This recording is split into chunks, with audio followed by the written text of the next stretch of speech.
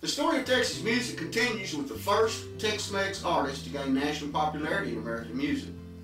His name was Freddy Fender, and during his career he had 21 songs that hit the country's charts, with three of them going number one. He also won three Grammys and was inducted into the Texas Music Hall of Fame. Most recently, he was awarded his own star on Hollywood's Walk of Fame.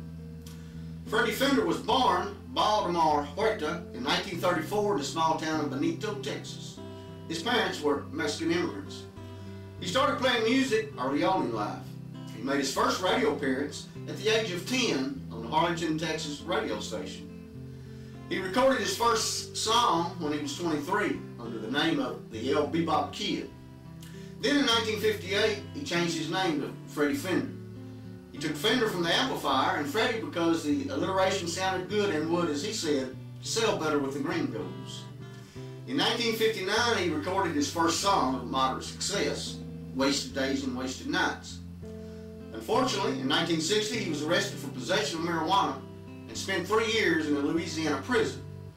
The popularity of the song, along with his own popularity, soon plummeted. By the early 70s, he was back playing the local honky tonks. In 1974, he recorded the song Before the Next Teardrop Falls. The song quickly went to number one on the country charts sold over a million copies and was awarded a gold disc in 1975. Throughout the late 1970s, he had a string of hits, including Secret Love, You'll Lose a Good Thing, and a remake of Wasted Days and Wasted Nights. During the 1990s, he won two Grammys, one with the Texas Tornados and the other with the band Los Super 7. In 2001, his final recording won a Grammy for Best Latin Pop Album. Freddy Fender died of lung cancer in 2006 at the age of 69 he was buried in his hometown of Benito. This next video features Freddy Fender performing his biggest hit, Before the Next Teardrop Falls, live on stage.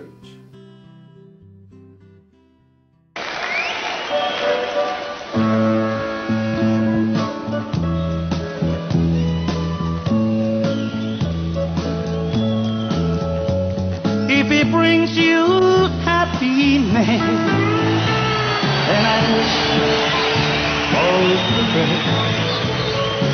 your happiness that matters most of all.